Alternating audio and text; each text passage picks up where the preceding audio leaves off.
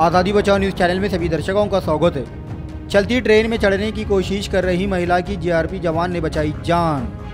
दरअसल बीते बुधवार 20 सितंबर 2023 की दोपहर तीस साल नाजमी सलीम शेख नामी महिला अपनी नौ साल बेटी के साथ विट्ठलवाड़ी रेलवे स्टेशन पर अंबरनाथ लोकल ट्रेन में चढ़ रही थी के बेटी के ट्रेन में चढ़ते ही महिला का संतुलन खो गया और प्लेटफॉर्म पर गिरकर ट्रैक पर जा रही थी कि ड्यूटी पर मौजूद जीआरपी जवान ऋषिकेश माने ने अपनी जान पर खेलकर उस महिला को बचा लिया। तभी महिला अपनी बेटी के आगे जाने की सूचना जीआरपी जवान को दी। सूचना मिलते ही जीआरपी जवान ने अगले स्टेशन अंबरनाथ पर मौजूद रेलवे प्रशासन को दी।